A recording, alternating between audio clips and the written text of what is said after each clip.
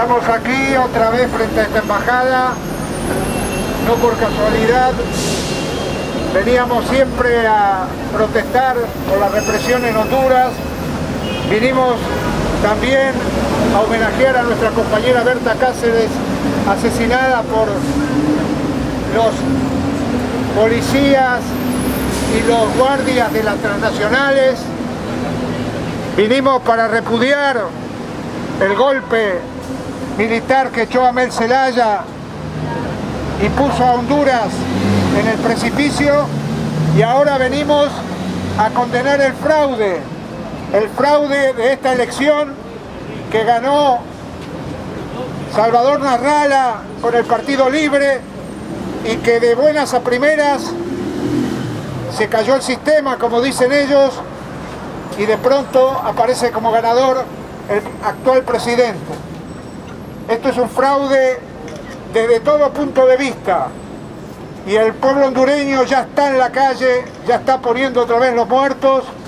tres muertos ayer,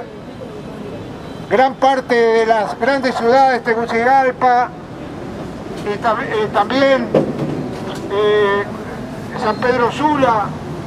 y en otras ciudades están con la gente en la calle protestando. Si cae Honduras, caemos todos. Nosotros estamos seguros que Narrala es presidente y que el pueblo lo va a imponer en la calle. Tenemos varias ciudades levantadas este, exigiendo que salga Juan Orlando Hernández este, y exigiendo que en Honduras este, por fin se respete la decisión del pueblo después de tantos años de vivir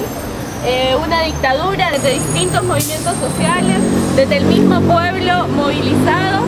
se está enfrentando, está librando una este, batalla feroz, a pesar de que han llegado noticias de que ya han habido personas que han incluso niños y niñas que han sido reprimidos este, con eh, gases lacrimógenos, con balas de goma, este, el papel nefasto que ha tenido la embajada acá también, que no ha recibido ninguna de las cartas que se han entregado y que desde hace dos años se vienen entregando este, por justicia para Berta Cáceres y por justicia para todos los compañeros y compañeras que hoy han vivido distintos este, eventos y distintos ataques. Eh, a seguir, este, que en Honduras el pueblo sigue de pie y hay que apoyarlo porque es también responsabilidad de todos y todas, de, los pueblos del mundo que nos hacemos cargo de nuestra historia, de seguir defendiendo este, el destino de esta América Latina. Alerta, alerta, alerta que camina el padre de por América Latina.